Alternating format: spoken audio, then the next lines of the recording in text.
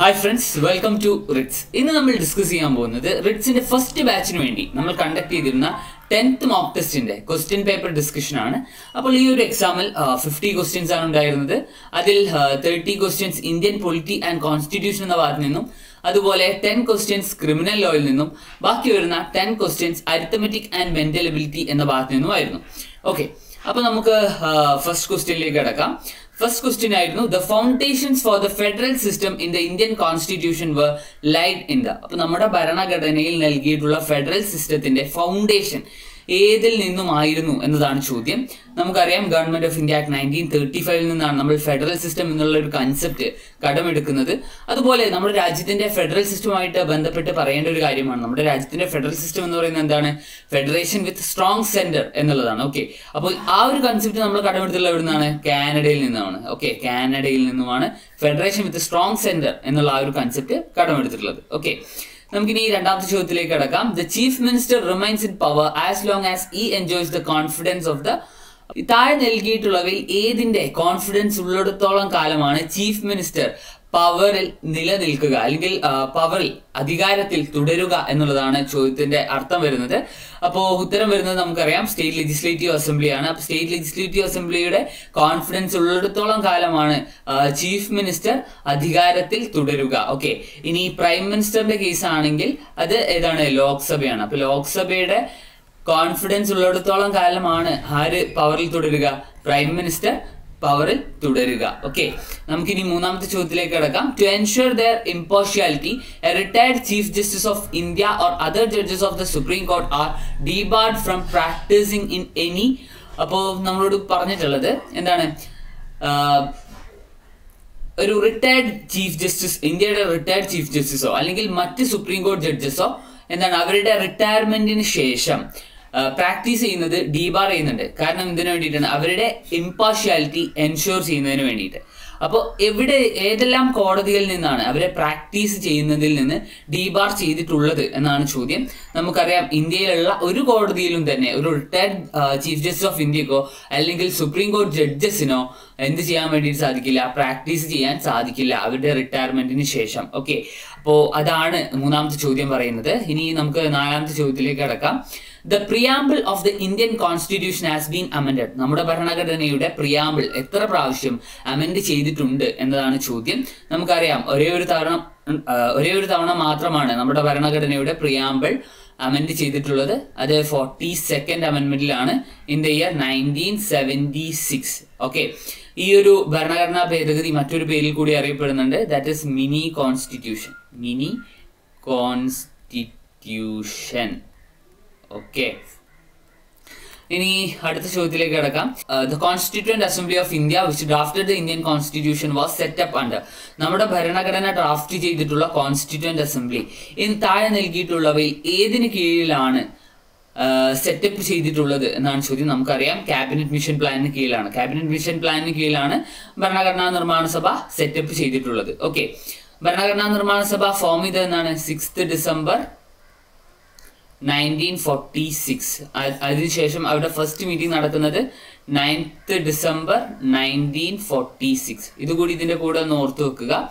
And next question under the forty fourth അമെൻമെന്റ് act the president was deprived of the power to declare a അപ്പോൾ താഴെ നൽകിയിരിക്കുന്നവയിൽ ഏത് declare ചെയ്യുന്ന power ആണ്? പ്രസിഡന്റിന് നാൽപ്പത്തിനാലാം ഭരണഘടനാ ഭേദഗതിയിലൂടെ നഷ്ടമായിട്ടുള്ളത് എന്നാണ് ചോദ്യം. നമുക്കറിയാം. നാൽപ്പത്തിനാലാം ഭരണഘടനാ ഭേദഗതിയിലൂടെയാണ് national emergency on the ground of internal disturbance എന്നുള്ള ഒരു കാര്യം എടുത്തു കളഞ്ഞത്. ഈ ഒരു ഇന്റേണൽ ഡിസ്റ്റർബൻസ് എന്നുള്ള ഗ്രൗണ്ട് എടുത്തു കളഞ്ഞു നാഷണൽ എമർജൻസിയുടെ. ഇതിന് പകരമായിട്ട് ഹാംഡ് റബിലിയൻ എന്ന വാക്കുമായിട്ട് എന്ത് ചെയ്തു? റീപ്ലേസ് ചെയ്യപ്പെട്ടു. Armed rebellion. ഓക്കെ. അപ്പോൾ എന്താണ് ഫോർട്ടി ഫോർത്ത് അമെന്റ്മെന്റിലൂടെ ഇന്റേണൽ ഡിസ്റ്റർബൻസ് എന്നുള്ള വാക്ക് മാറ്റിയിട്ട് അവിടെ ആംഡ് റബിലിയൻ എന്നുള്ള ഒരു ഗ്രൗണ്ട് നാഷണൽ എമർജൻസിക്ക് കൊണ്ടുവരികയാണ് ചെയ്തത്. അതിലൂടെ പ്രസിഡന്റിന് ഇന്റേണൽ ഡിസ്റ്റർബൻസിന്റെ ഗ്രൗണ്ടിൽ നാഷണൽ എമർജൻസി ഡിക്ലെയർ ചെയ്യാനുള്ള പവർ നഷ്ടമാവുകയാണ് ചെയ്തത്. ഓക്കെ നമുക്കിനി അടുത്ത ചോദ്യത്തിലേക്ക് കിടക്കാം. The Indian parliament is a creature of അപ്പോൾ നമ്മുടെ ഭരണ നമ്മുടെ പാർലമെന്റ് നമ്മുടെ രാജ്യത്തെ പാർലമെന്റ് താഴെ നൽകിയിരിക്കുന്നവയിൽ ഏതിന്റെ ക്രിയേച്ചർ ആണ് എന്നാണ് ചോദ്യം.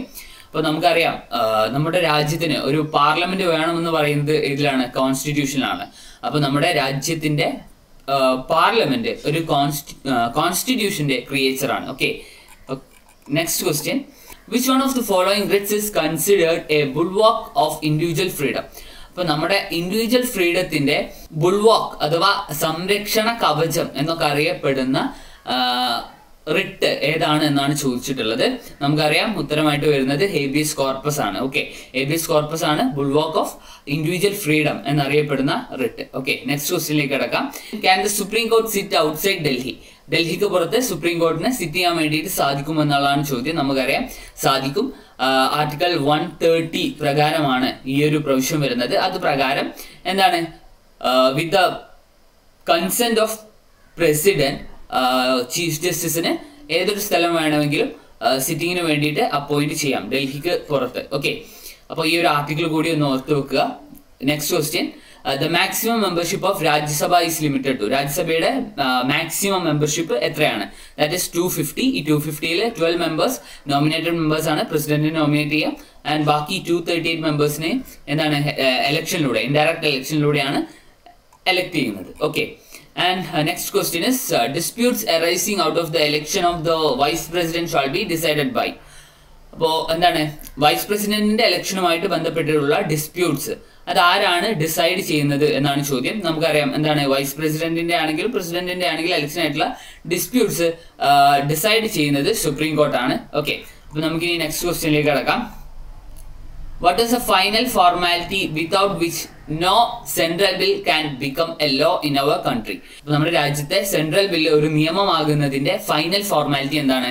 അതിൽ പ്രസിഡന്റ് ഒപ്പുവെച്ചിരിക്കണം. അപ്പൊ അതിനു മുൻപായിട്ട് രണ്ട് സഭകളിലും ഇത് പാസ്സായിട്ടുണ്ടാവും. ലോക്സഭയും രാജ്യസഭയും ഇത് പാസ്സാക്കിയ ശേഷം പ്രസിഡന്റിന്റെ മുൻപിൽ വന്ന് പ്രസിഡന്റ് ഇതിനൊരു അസെന്റ് നൽകി സൈൻ ചെയ്താൽ മാത്രമേ ഒരു central bill നിയമമാവുന്നുള്ളൂ. Okay next question which among the following does not form part of the preamble താഴെ നൽകിയിരിക്കുന്നവരിൽ പ്രിയാമ്പിളിന്റെ ഭാഗമല്ലാത്തത് ഏതാണെന്നാണ് ചോദിച്ചിട്ടുള്ളത്. നമുക്കറിയാം സോവറിനിറ്റിയെ കുറിച്ച് പ്രിയാമ്പിൾ പറയുന്നുണ്ട് സോഷ്യലിസത്തെ കുറിച്ച് പറയുന്നുണ്ട് സെക്യുലറിസത്തെ കുറിച്ച് പറയുന്നുണ്ട്. പക്ഷേ ഫെഡറലിസത്തെ കുറിച്ച് പറയുന്നില്ല. അപ്പൊ ആൻസർ ഫെഡറലിസം ആണ്. ഓക്കെ നമുക്കറിയാം ഈ മൂന്ന് കാര്യങ്ങൾ നമ്മുടെ ഭരണഘടനയുടെ അല്ലെങ്കിൽ നമ്മുടെ കോൺസ്റ്റിറ്റ്യൂഷന്റെ നേച്ചർ ആണ് പറയുന്നത്.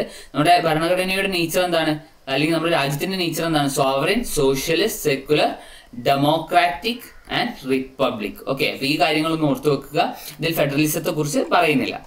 Next question the minimum age prescribed for appointment as a judge of the supreme court അപ്പോൾ സുപ്രീം കോർട്ട് ജഡ്ജ് ആവാനുള്ള മിനിമം ഏജ് എത്രയാണ് ഭരണഘടന പ്രിസ്ക്രൈബ് ചെയ്തിരിക്കുന്നതെന്നാണ്.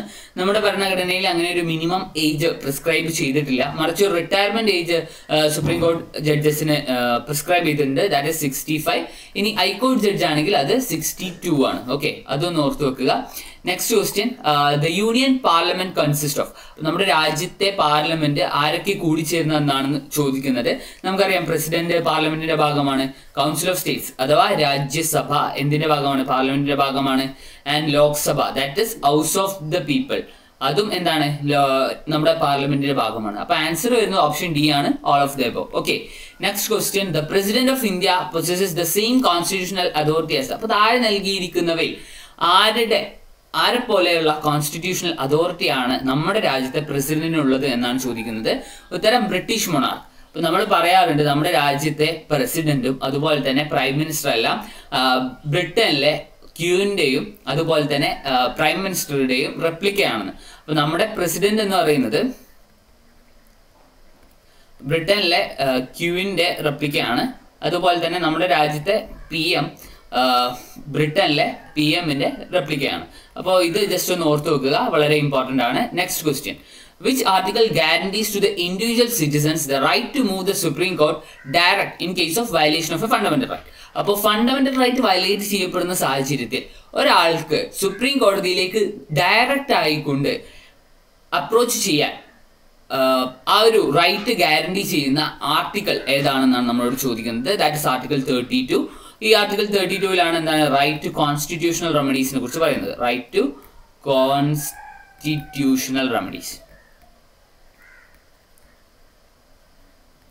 okay ഈ ആർട്ടിക്കിളിനെ തന്നെയാണ് doctor B R Ambedkar heart and soul of the constitution എന്ന് പറഞ്ഞിട്ടുള്ളത്. Okay heart and soul of the constitution ഭരണഘടനയുടെ ഹൃദയവും ആത്മാവും. ഓക്കെ അപ്പൊ അതുകൂടി ഒന്ന് ഓർത്ത് വെക്കുക. വളരെ ഇമ്പോർട്ടന്റ് ആണ്. Next question who retains the power of declaring war or peace നമ്മുടെ രാജ്യത്ത് വാർ ഡിക്ലെയർ ചെയ്യാനും അതുപോലെ തന്നെ പീസ് ഡിക്ലെയർ ചെയ്യാനും ഒക്കെയുള്ള പവർ ആരിലാണ് ഉള്ളത് എന്നാണ് ചോദിക്കുന്നത്. നമുക്കറിയാം പ്രസിഡന്റിനാണ് അല്ലെ? Okay next question the residuary powers that is the powers not listed under the constitution vest with okay അപ്പൊ നമ്മുടെ രാജ്യത്തെ റെസിജറി പവേഴ്സ് റെസിജറി പവേഴ്സ് എന്ന് പറഞ്ഞു കഴിഞ്ഞാൽ എന്താണ്? ലിസ്റ്റ് ചെയ്യാത്ത പവേഴ്സ് ഭരണഘടന പ്രകാരം ആർക്കാണ് എന്നുള്ളതാണ് ചോദിച്ചുള്ളത് നമുക്കറിയാം ലിസ്റ്റ് ചെയ്ത പവേഴ്സ് എന്ന് പറഞ്ഞു കഴിഞ്ഞാൽ ഏതൊക്കെയാണ്? യൂണിയൻ ലിസ്റ്റ് ഉണ്ട് സ്റ്റേറ്റ് ലിസ്റ്റ് ഉണ്ട് കൺകറന്റ് ലിസ്റ്റ് ഉണ്ട്. യൂണിയൻ ലിസ്റ്റ് പ്രകാരം എന്താണ്? പാർലമെന്റ് നിയമം ഉണ്ടാക്കാം. സ്റ്റേറ്റ് ലിസ്റ്റ് പ്രകാരം സ്റ്റേറ്റ് ലെജിസ്ലേറ്റീവ് അസംബ്ലിക്ക് നിയമം ഉണ്ടാക്കാം. കൺകറൻ ലിസ്റ്റ് പ്രകാരം ഇവർക്ക് രണ്ടുപേർക്കും നിയമം ഉണ്ടാക്കാം. അപ്പോൾ ഇതിലെല്ലാം കുറേ സബ്ജക്ട് മാറ്റേഴ്സ് പറയുന്നുണ്ട്. ഇനി ഇതിൽ പറയാത്ത സബ്ജക്ട് മാറ്റേഴ്സ് ആർക്കാണ് നിയമം ഉണ്ടാക്കാൻ വേണ്ടിയിട്ട് സാധിക്കുക? അത് പാർലമെന്റിനാണ്. ആ അങ്ങനെ ഉണ്ടാക്കാനുള്ള പവറിനെയാണ് നമ്മൾ എന്താ റെസിജറി പവേഴ്സ് എന്ന് പറയുന്നത്. ഓക്കെ അതുകൂടി ഒന്ന് ഓർത്ത് വെക്കുക. Next question which one of the following can be abolished by an act of the parliament but not dissolve അപ്പോൾ പാർലമെന്റിന്റെ ഒരു ആക്ടിലൂടെ അബോളിഷ് ചെയ്യാൻ പറ്റുന്നതും എന്നാൽ ഡിസോൾവ് ചെയ്യാൻ പറ്റാത്തതുമായിട്ടുള്ള ഹൗസ് ഏതാണെന്നാണ് ചോദിക്കുന്നത്? ദാറ്റ് ഇസ് ലെജിസ്ലേറ്റീവ് കൗൺസിൽ സ്റ്റേറ്റുകളിലുള്ള സ്റ്റേറ്റ് ലെജിസ്ലേറ്റീവ് കൗൺസിൽസ് ആണ്. നിലവിൽ ആറ് സ്റ്റേറ്റുകളിൽ മാത്രമാണ് ലെജിസ്ലേറ്റീവ് കൗൺസിൽസ് ഉള്ളത്. Okay next questions what is the maximum strength prescribe for state legislative assembly state legislative അസംബ്ലിയുടെ maximum prescribed ആയിട്ടുള്ള സ്ട്രെങ്ത് എത്രയാണെന്നാണ് ചോദിക്കുന്നത്? That is five hundred five hundred ആണ് സ്റ്റേറ്റ് ലെജിസ്ലേറ്റീവ് അസംബ്ലിയുടെ മാക്സിമം സ്ട്രെങ്ത് പ്രിസ്ക്രൈബ് ചെയ്തിട്ടുള്ളത്. ഭരണഘടന പറയുന്ന maximum strength okay next question equality fraternity and liberty ideas that emanated from the revolution of അപ്പോൾ നമ്മുടെ ഭരണഘടനയിലുള്ള ഈക്വാലിറ്റി ഫ്രട്ടേണിറ്റി ലിബർട്ടി എന്നീ ആശയങ്ങൾ അല്ലെങ്കിൽ എന്നീ ഐഡിയാസ് നമ്മൾ ഏത് റവല്യൂഷനിൽ നിന്നുമാണ് എടുത്തിട്ടുള്ളത് എന്നാണ് ചോദിക്കുന്നത്. ദാറ്റ് ഈസ് ഫ്രഞ്ച് റവല്യൂഷൻ അപ്പോൾ ഫ്രാൻസ് ആണ് ഉത്തരമായിട്ട് വരുന്നത്. ഓക്കെ ഇനി മറ്റൊരു കാര്യം കൂടിയുണ്ട് ജസ്റ്റിസ് ജസ്റ്റിസ് എന്നുള്ള ഒരു ഐഡിയൽ കൂടിയുണ്ട്. ഇത് നമ്മൾ ഏത് റവല്യൂഷൻ നിന്നാണ് എടുത്തിട്ടുള്ളത്? That is Russian revolution okay അതുകൂടി ഒന്ന് ഓർത്ത് വെക്കുക. Next question a maximum interval of dash can elapse between two sessions of a state legislative assembly അപ്പോൾ ഒരു സ്റ്റേറ്റ് ലെജിസ്ലേറ്റീവ് അസംബ്ലിയുടെ രണ്ട് സെഷൻസ് തമ്മിൽ എത്ര മാക്സിമം ഇന്റർവെൽ എത്രയേ ഉണ്ടാവാൻ പാടുള്ളൂ എന്നുള്ളതാണ് ചോദ്യം. ദാറ്റ് ഇസ് സിക്സ് മന്ത്സ് അപ്പോൾ എന്താണ്? രണ്ട് സെഷൻസ് തമ്മിലുള്ള ഇന്റർവെൽ മാക്സിമം സിക്സ് മന്ത്സേ ആവാൻ പാടുള്ളൂ. അതിൽ കൂടാൻ വേണ്ടിയിട്ട് പാടില്ല. Next question the chairman of the Rajya Sabha can vote in the house അപ്പോൾ സാധാരണ രീതിയിൽ രാജ്യസഭാ ചെയർമാന് വോട്ട് ഉണ്ടാവാറില്ല. ഹൗസിൽ പക്ഷേ ഏത് സാഹചര്യത്തിലാണ് അദ്ദേഹത്തിന് വോട്ട് ചെയ്യാനുള്ള റൈറ്റ് ഉള്ളത് എന്നാണ് ചോദിക്കുന്നത്.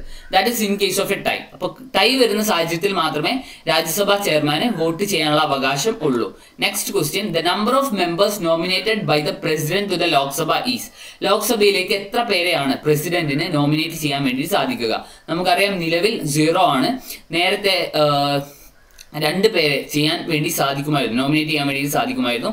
ആംഗ്ലോ ഇന്ത്യൻ കമ്മ്യൂണിറ്റിയിൽ ഉണ്ടായിരുന്നവരെ. ഓക്കെ ആംഗ്ലോ ഇന്ത്യൻ കമ്മ്യൂണിറ്റിയിൽ ഉണ്ടായിരുന്നവർ പക്ഷെ നൂറ്റിനാലാമത്തെ ഭരണഘടനാ ഭേദഗതിയിലൂടെ ഈ ഒരു പവർ എടുത്ത് കളഞ്ഞു. Okay next question the president has so far declared financial emergency നമ്മുടെ രാജ്യത്ത് പ്രസിഡന്റ് എത്ര പ്രാവശ്യം ഫൈനാൻഷ്യൽ എമർജൻസി ഡിക്ലെയർ ചെയ്തിട്ടുണ്ട് എന്നാണ് ചോദ്യം. നമുക്കറിയാം ഇതുവരെ നമ്മുടെ രാജ്യത്ത് ഫൈനാൻഷ്യൽ എമർജൻസി ഡിക്ലെയർ ചെയ്തിട്ടില്ല. Next question the chief justice and other judges of the supreme court of India hold office until they attain the age of അപ്പോൾ എത്ര വയസ്സ് അറ്റൈൻ ചെയ്യുന്നത് വരെയാണ് ഇന്ത്യയുടെ ചീഫ് ജസ്റ്റിസും അതുപോലെ തന്നെ സുപ്രീം കോടതിയിലെ മറ്റ് ജഡ്ജസും എല്ലാം ഓഫീസ് ഹോൾഡ് ചെയ്യുന്നത് എന്നാണ് ചോദ്യം. അഥവാ അവരുടെ റിട്ടയറിംഗ് ഏജ് എത്രയാണ്? That is sixty five years ആണ്. ഓക്കെ ഇനി ഹൈക്കോർട്ട് ജഡ്ജസ് ആണെങ്കിൽ അവരുടെ റിട്ടയർമെന്റ് ഏജ് എന്ന് പറയുന്നത് സിക്സ്റ്റി ടു ആണ്. ഇത് കൂടി ഒന്ന് ഓർത്ത് വെക്കുക. Next question the first chairman of the Rajya Sabha was നമുക്കറിയാം രാജ്യസഭയുടെ ചെയർമാൻ എന്ന് പറയുന്നത് ആരാണ്? നമ്മുടെ രാജ്യത്തിന്റെ വൈസ് പ്രസിഡന്റ് ആണ്. ഇപ്പൊ ഇവിടെ ചോദിച്ചിട്ടുള്ളത് നമ്മുടെ ഫസ്റ്റ് രാജ്യസഭാ ചെയർമാൻ ആരായിരുന്നു എന്നാണ്. അപ്പൊ അതിന്റെ ഉത്തരം സ്വാഭാവികമായിട്ട് നമ്മുടെ രാജ്യത്തെ ഫസ്റ്റ് വൈസ് പ്രസിഡന്റ് ആണ്. That is doctor S Radhakrishnan okay next question the lower age limit of the lower age limit for election as president of India is അപ്പോൾ നമ്മുടെ പ്രസിഡൻഷ്യൽ ഇലക്ഷനിൽ മത്സരിക്കണമെങ്കിൽ വേണ്ട ലോവർ ഏജ് എത്രയാണ് മിനിമം ഏജ് എത്രയാണെന്നാണ് ചോദിച്ചിട്ടുള്ളത്. That is thirty five years thirty five years ആണ്. Okay next question who among the following decides the nature of a bill ഒരു ബില്ലിന്റെ നേച്ചർ ദാറ്റ് ഒരു ബില്ലിന്റെ നേച്ചർ എന്ന് പറയുമ്പോൾ ഒരു ബില്ല് ഓർഡിനറി ബില്ലാണോ മണി ബില്ലാണോ എന്നല്ല. ആരാണ് ഡിസൈഡ് ചെയ്യുന്നത് എന്നാണ് ചോദ്യം. നമുക്കറിയാം that speaker of Lok Sabha Lok Sabha speaker ആണ് ഒരു ബില്ല് എന്ത് ഓർഡിനറി ബില്ലാണോ അല്ലെങ്കിൽ മണി ബില്ലാണോ എന്ന് ഡിസൈഡ് ചെയ്യുന്നത്. നെക്സ്റ്റ് ക്വസ്റ്റ്യൻ മുതൽ ഇനി നമ്മൾ ക്രിമിനൽ ലോ ആണ് ഡിസ്കസ് ചെയ്യാൻ പോകുന്നത്. ഓക്കെ ക്രിമിനൽ ലോയിലെ ഫസ്റ്റ് ക്വസ്റ്റ്യൻ ആണ്. Indian evidence act eighteen seventy two is drafted by ആയിരത്തി എണ്ണൂറ്റി എഴുപത്തി രണ്ടിലെ ഇന്ത്യൻ എവിഡൻസ് ആക്ട് ഇന്ത്യൻ തെളിവ് നിയമം ആരാണ് ഡ്രാഫ്റ്റ് ചെയ്തിട്ടുള്ളത്? That is sir James fitz James Stephen okay Stephen ആണ്. ജെയിംസ് സ്റ്റീഫൻ ആണ് നമ്മുടെ ഇന്ത്യൻ എവിഡൻസ് ആക്ട് ഡ്രാഫ്റ്റ് ചെയ്തിട്ടുള്ളത്. Next question appeal under criminal procedure code is provided ഉണ്ട് അപ്പോൾ സി ആർ പി സിയിൽ അല്ലെങ്കിൽ ക്രിമിനൽ പ്രൊസീജിയർ കോഡിൽ അപ്പീലിനെ കുറിച്ച് പ്രതിപാദിക്കുന്നത് എവിടെയാണ് എന്നാണ് ചോദിക്കുന്നത്. That is chapter twenty nine അപ്പോൾ സി ആർ പി സിയുടെ ചാപ്റ്റർ ട്വന്റി നയനിലാണ് അപ്പീലിനെ കുറിച്ച് പറയുന്നത്. Next question dash is a stage that comes after the charge sheet is file but before the charge is framed by the concern court against the accused person The accused person is let to go due to non-availability of the materials against him for proceeding ahead with the trial. And that in such a case trial would be a futile exercise അപ്പോൾ ഇവിടെ പറയുന്നത് എന്താണെന്ന് വെച്ച് കഴിഞ്ഞാൽ ഒരു സ്റ്റേജിനെ കുറിച്ചിട്ടാണ്. ഈ ഒരു സ്റ്റേജ് നടക്കുന്നത് ചാർജ് ഷീറ്റ് ഫയൽ ചെയ്ത ശേഷമാണ്. പക്ഷേ കൺസേൺഡ് ആയിട്ടുള്ള കോർട്ട് ഈ അക്യൂസ്ഡ് പേഴ്സൺ അഗെയിൻസ്റ്റ് ആയിട്ട് ചാർജ് ഫ്രെയിം ചെയ്യുന്നതിന് മുൻപായിട്ടാണ്. ഓക്കെ അപ്പോൾ ഈ ഒരു കേസിൽ എന്താണെന്ന് വെച്ച് കഴിഞ്ഞാൽ ഈ അക്യൂസ്ഡ് ആയിട്ടുള്ള ആളെ വെറുതെ വിടുകയും എന്തിന്റെ സാഹചര്യത്തിലാണ് വെറുതെ വിടുന്നത്? അദ്ദേഹത്തിന് എഗെയിൻസ്റ്റ് ആയിട്ടുള്ള മെറ്റീരിയൽസ് അവൈലബിൾ ആകാത്ത സാഹചര്യത്തിലാണ്. ഓക്കെ അദ്ദേഹത്തെ അദ്ദേഹത്തിന് എന്ത് ചെയ്യുന്നില്ല? ട്രയലിന് പോലും വിധേയമാക്കുന്നില്ല. കാരണം എന്താണ്? ഇദ്ദേഹത്തിന് എഗെയിൻസ്റ്റ് ആയിട്ട് മെറ്റീരിയൽ അവൈലബിൾ അല്ല. ഇനി ഇദ്ദേഹത്തിന് ട്രയൽ ചെയ്തു കഴിഞ്ഞാൽ പോലും അത് ഒരു ഫലം ചെയ്യില്ല എന്ന് കണക്കാക്കിയിട്ടാണ് ഇദ്ദേഹത്തെ വെറുതെ വിടുന്നത്. ഇതിനെ ഈ ഒരു പ്രോസസ്സിന് അല്ലെങ്കിൽ ഈ ഒരു സ്റ്റേജിന് എന്താണ് പറയുന്നതെന്നാണ് ചോദിക്കുന്നത്. ദാറ്റ് ഇസ് ഡിസ്ചാർജ് ഡിസ്ചാർജ് ചെയ്യുക എന്നാണ് ഇതിൽ പറയുന്നത്. Okay and next question is prima facie means എന്താണ് പ്രൈമ ഫെസി എന്ന വാക്കുകൊണ്ട് അർത്ഥമാക്കുന്നത്? That is based on the first impression okay based on the first impression എന്നുള്ളതാണ് പ്രൈമ ഫെസി കൊണ്ട് അർത്ഥമാക്കുന്നത്. Next question as per section four one six of the C R P C dash shall commute the sentence of death to imprisonment of life if a woman is found to be pregnant അപ്പോൾ ഒരു convict ചെയ്യപ്പെട്ടിട്ടുള്ള ഒരു woman pregnant ആണെന്ന് കണ്ടുപിടിക്കുന്ന സാഹചര്യത്തിൽ അവരുടെ death sentence life imprisonment ആയിട്ട് കുറയ്ക്കാൻ വേണ്ടി സെക്ഷൻ നാനൂറ്റി പതിനാറ് സി ആർ പി സി പ്രകാരം ആർക്കാണ് സാധിക്കുക? ഒരു ഹൈക്കോർട്ടിനാണ് അങ്ങനെ കമ്മ്യൂട്ട് ചെയ്യാൻ വേണ്ടിയിട്ട് സാധിക്കുക. Okay next question choose the correct order of hierarchy from the higher to lower criminal codes അപ്പോൾ നമ്മുടെ രാജ്യത്തുള്ള ക്രിമിനൽ കോഡ്സിന്റെ ഹൈറാർക്കിയാണ് ചോദിച്ചിട്ടുള്ളത്. And higher to lower code നമുക്കറിയാം നമ്മുടെ രാജ്യത്തെ ഏറ്റവും വലിയ അല്ലെങ്കിൽ ഏറ്റവും വലിയ കോർട്ട് എന്ന് പറയുന്നത് ക്രിമിനൽ കോർട്ട് എന്ന് പറയുന്നത് ദാറ്റ്സ് ഓൾവേസ് സുപ്രീം കോർട്ട് ആണ്. സുപ്രീം കോർട്ട് വരുന്ന രണ്ട് ഓപ്ഷൻസ് ആണുള്ളത്. ആൻഡ് അതിനുശേഷം ഹൈക്കോർട്ട് വരുന്നു. ആൻഡ് ഹൈക്കോർട്ടിന് താഴെ വരുന്നത് കോർട്ട് ഓഫ് സെഷൻസ് ആണ്. Judicial magistrate of first class അല്ല. Judicial magistrate of first class ആണ് ഏറ്റവും താഴെ വരുന്നത്. ഓക്കെ അപ്പോൾ ആൻസർ വരുന്നത് ഓപ്ഷൻ ഡി ആണ്. ഓക്കെ അപ്പോൾ option D supreme court high court court of sessions assistant court of sessions and judicial magistrate of first class ഇങ്ങനെയാണ് ക്രിമിനൽ കോർട്ടിന്റെ ഹൈറാർക്കി വരുന്നത്. ഓർത്തു വെക്കുക. Next question according to section three seventy nine of criminal procedure code the accused person can file and appeal to the supreme court when അപ്പൊ ഏത് സാഹചര്യത്തിലാണ് section three seventy nine C R P C പ്രകാരം ഒരു accused പേഴ്സണ് supreme കോർട്ടിൽ appeal file ചെയ്യാൻ വേണ്ടി സാധിക്കുക എന്നാണ് ചോദിച്ചിട്ടുള്ളത്. ഈ ഒരു സാഹചര്യം എന്ന് പറയുന്നത് The High Court has reversed the order of acquittal, convicted him and sentenced him to death or to imprisonment for life or to imprisonment for a term of 10 years or more. അപ്പോൾ ഈ ഒരു സാഹചര്യം എന്ന് പറയുന്നത് lower court ഇദ്ദേഹത്തെ acute ചെയ്തു. പക്ഷേ ഹൈക്കോർട്ടിൽ appeal പോയപ്പോൾ ഇദ്ദേഹത്തെ എന്ത് ചെയ്തു? ഇദ്ദേഹത്തിന്റെ ഈ അക്യൂറ്റൽ റിവേഴ്സ് ചെയ്യുകയും ആ ഒരു സാഹചര്യത്തിൽ ഇദ്ദേഹത്തെ കൺവിക്ട് ചെയ്യുന്നത് എന്തിനു വേണ്ടിയിട്ടാണ്?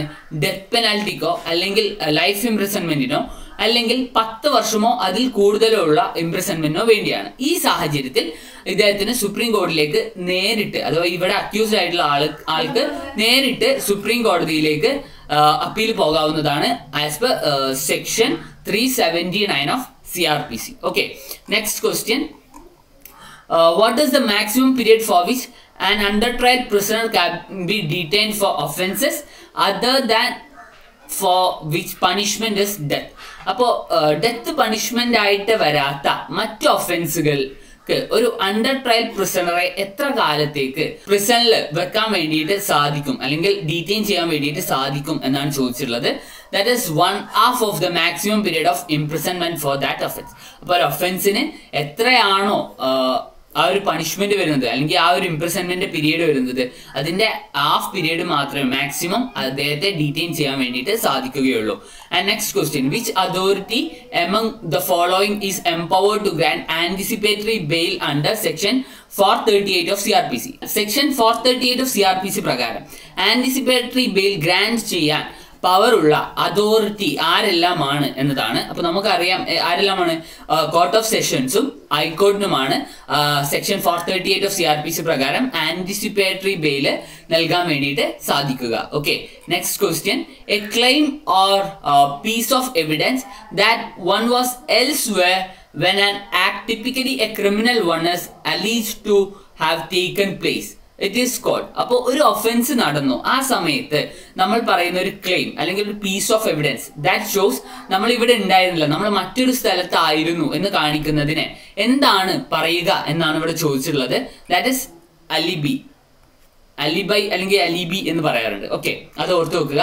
നെക്സ്റ്റ് ഇനി നമ്മൾ അരിത്മെറ്റിക് ആൻഡ് മെന്റൽ എബിലിറ്റിയുടെ ഭാഗമാണ് സ്റ്റാർട്ട് ചെയ്യുന്നത്.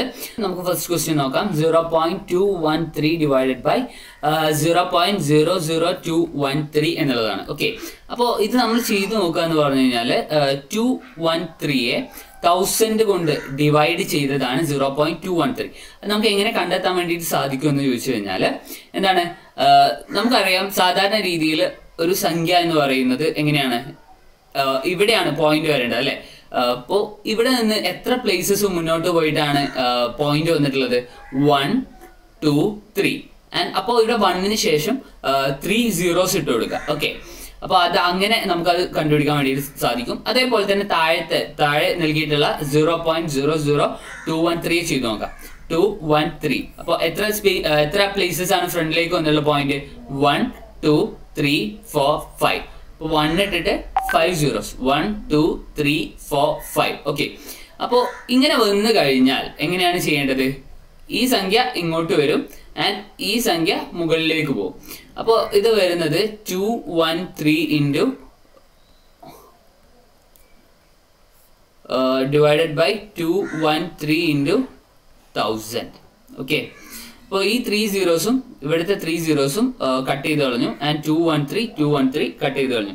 അപ്പോൾ ബാക്കി വരുന്നത് ഹൺഡ്രഡ് ആണ്. ആൻസർ വരുന്നത് ഹൺഡ്രഡ് ആണ്. Okay next question a barrel has fifty six point three two litres capacity if Supriya used twenty one point one nine litres how much water is left അപ്പൊ എന്താണ്? ഇതിന്റെ കപ്പാസിറ്റി എന്ന് പറയുന്നത് fifty six point three two ആണ്. And Supriya use twenty one point one nine litres okay അപ്പൊ ഈ ഒരു സാഹചര്യത്തിൽ ബാക്കി എത്ര വാട്ടർ ലെഫ്റ്റ് ചെയ്യുന്നുണ്ട് എന്നാണ് അപ്പൊ നമുക്ക് ഇത് എന്ത് ചെയ്താൽ മതി? കുറച്ചാൽ മതി. ഓക്കെ സബ്സ്ട്രാക്ട് ചെയ്താൽ മതി. നമുക്ക് ആൻസർ കിട്ടും. ഓക്കെ ആൻഡ് നമുക്ക് സബ്സ്ട്രാക്ട് ചെയ്യാം. Twelve minus nine that is three and ഇവിടെ ടു ആവും. Two minus one one six minus one five and five minus two three thirty five point one three litres ആണ് നമ്മുടെ answer വരുന്നത്. ഇത്രയും water ആണ് ബാരലിൽ left ആയിട്ടുള്ളത്. Okay അപ്പൊ നമുക്ക് ഇനി നെക്സ്റ്റ് ക്വസ്റ്റ്യൻ നോക്കാം. Pick the odd one out ഇപ്പൊ ഈ താഴെ നൽകിയിട്ടുള്ളവയിൽ ഓഡ് വൺ ഔട്ട് ചെയ്യുക എന്നുള്ളതാണ്. Radio telephone television X-ray X-ray ആണ് ഇതിൽ ഓഡ് വൺ ആയിട്ട് വരുന്നത്. കാരണം ബാക്കി മൂന്ന് നമ്മളൊരു കമ്മ്യൂണിക്കേഷന് വേണ്ടിയിട്ട് യൂസ് ചെയ്യുന്ന ഡിവൈസസ് ആണ്. ആൻഡ് എക്സ്റേ അങ്ങനെയല്ലല്ലോ. And the next question is if Kamal says Ravi's mother is the only daughter of my mother how is Kamal related to Ravi അപ്പോൾ കമൽ പറഞ്ഞു എന്താണ്? Ravi's mother Ravi's mother is the only daughter of my mother അപ്പോൾ എന്താണ്? രവീസ് രവിയുടെ മദറും രവിയുടെ മദറിന്റെ മദറും കമലിന്റെ മദറും സെയിം ആണ്. ഓക്കെ ആൻഡ് അപ്പോൾ അവരെങ്ങനെയാണ് അപ്പോൾ ഇവിടെ ഈ കമൽ ആൻഡ് രവി തമ്മിലുള്ള റിലേഷൻ എന്താണെന്നാണ് ചോദിച്ചിട്ടുള്ളത്. അപ്പോൾ ഇവരുടെ രവിയുടെ മദറിന്റെ ബ്രദർ ആണ് കമൽ എന്ന് നമുക്ക് മനസ്സിലാക്കാൻ വേണ്ടിയിട്ട് സാധിക്കും. ദസ് എന്താണ്? ഇവർ മാറ്റേണൽ അങ്കിൾ ആണ്. ഓക്കെ അപ്പോൾ എന്താണ്? രവിയുടെ മാറ്റേണൽ അങ്കിൾ ആണ് Kamal. Okay next question pointing to a photograph of a boy Suresh said is the son of the only son of my mother okay എന്താണ് point to a photograph boy Suresh said Suresh പറഞ്ഞു എന്താണ് is the son of only son of my mother അപ്പോൾ ഇദ്ദേഹത്തിന്റെ മദറിന്റെ only സണ്ണിന്റെ സണ്ണാണ് okay only son എന്ന് പറയുന്നത് സുരേഷ് തന്നെ. സുരേഷിന്റെ മകനാണ്. Okay how Suresh is related to the boy is the father ആ ബോയിയുടെ ഫാദർ ആണ് ആര്? സുരേഷ് എന്ന് പറയുന്നത്. ഓക്കെ നമുക്ക് ഈ ഒരു റിലേഷൻ വായിച്ചാൽ തന്നെ മനസ്സിലാക്കാൻ പറ്റുന്നതാണ്. Okay next question a man walks five kilometer toward south അപ്പൊ നമുക്ക് ആദ്യം എന്ത് വരക്കാം? ഈ ഒരു ഡയറക്ഷൻസ് വരക്കാം. North east west south okay and a man walks five kilometer towards south five kilometer അയാൾ സൗത്തിലേക്ക് നടന്നു. ആൻഡ് ദെൻ ടേൺസ് റൈറ്റ് അദ്ദേഹത്തിന്റെ റൈറ്റിലേക്ക് അദ്ദേഹം നടന്നു. After walking three kilometer three കിലോമീറ്റേഴ്സാണ് അദ്ദേഹം നടന്നത് റൈറ്റിലേക്ക് and then he turns left and walk five kilometer ലെഫ്റ്റിലേക്ക് വീണ്ടും ഫൈവ് കിലോമീറ്റർ നടന്നു. Now in which direction is from the starting point അപ്പോൾ ഇദ്ദേഹത്തിന്റെ സ്റ്റാർട്ടിംഗ് പോയിന്റ് നമ്മൾ എടുക്കുകയാണെങ്കിൽ ഇദ്ദേഹം ഇപ്പോൾ ഏത് ഡയറക്ഷനിലാണുള്ളത് ഈ ഒരു ഡയറക്ഷനാണ് അല്ലേ? അപ്പോൾ ഈ ഒരു പോയിന്റ് അദ്ദേഹത്തിന്റെ സ്റ്റാർട്ടിംഗ് പോയിന്റ് എടുക്കുകയാണെങ്കിൽ നമുക്ക് മനസ്സിലാക്കാൻ പറ്റുന്നത് is in the south west direction south west direction south west ഡയറക്ഷനിലാണ് answer is D next question a boy rode his bicycle northward നോർത്തിലേക്കാണ് നമുക്ക് ആദ്യം ഡയറക്ഷൻ വരക്കാം. എൻ ഇ ഡബ്ല്യു എസ് അപ്പോൾ a boy rode his bicycle towards north നോർത്തിലേക്ക് പോയി. Then he turns left ലെഫ്റ്റിലേക്ക് പോയിട്ട് ഒരു one kilometer and again turn left and rode two kilometer അദ്ദേഹം വീണ്ടും എന്ത് ചെയ്തു? ടു കിലോമീറ്റർ ലെഫ്റ്റിലേക്ക് വീണ്ടും റൈഡ് ചെയ്തു. He found himself one kilometer west of this starting point അപ്പൊ ഇദ്ദേഹത്തിന് കാണാൻ സാധിച്ചു. ഇദ്ദേഹം സ്റ്റാർട്ട് ചെയ്ത പോയിന്റിൽ നിന്ന് ഒരു വൺ കിലോമീറ്റർ വെസ്റ്റിലേക്കാണ് ഇപ്പൊ ഇദ്ദേഹം നിൽക്കുന്നത്. How far did he ride northward initially അപ്പോൾ ഈ ഡയറക്ഷനാണ് നമ്മൾ കണ്ടെത്തേണ്ടത്. ഇപ്പോൾ ഓൾറെഡി ഇവിടെ ഈ സ്റ്റാർട്ടിംഗ് പോയിന്റിൽ നിന്ന് ദേ ഇപ്പോൾ ഉള്ള ഒരു ഡിസ്റ്റൻസ് നമ്മളോട് പറഞ്ഞിട്ടുണ്ട്. That is one kilometer in the west direction നമ്മൾ നോക്കിക്കഴിഞ്ഞാൽ വെസ്റ്റ് ഡയറക്ഷൻ ആണ്.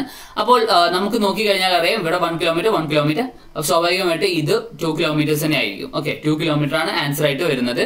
Okay next question is uh, what is the value of uh, 30 minus 5 into 23 minus 15? Okay അപ്പൊ നമുക്കറിയാം ബോർഡ് മാസ് റൂൾ വെച്ചിട്ടാണ് ഇത് ചെയ്യേണ്ടത്. ആദ്യം ബ്രാക്കറ്റിനകത്താണ് നമ്മൾ ചെയ്യുന്നത് ആൻഡ് ഇതിൽ ഫസ്റ്റ് മൾട്ടിപ്ലിക്കേഷൻ ആണ് ചെയ്യേണ്ടത് അല്ലെ? Five into three that is fifteen and two into five ten that is one fifteen minus fifteen okay thirty അപ്പോൾ thirty minus one hundred that's equal to minus seventy minus seventy ആണ് answer വരുന്നത്. ഇതിന്റെ options തെറ്റായിരുന്നു. The answer is minus seventy okay and the next question is pick the odd one out odd one out തന്നെയാണ് അടുത്തൊരു ചോദ്യം. നമുക്കറിയാം car autorickshaw van എന്നൊക്കെ പറയുന്നത് വെഹിക്കിൾസ് വെഹിക്കിൾസിനെയാണ് നമ്മൾ പറയുന്നത് അല്ലേ?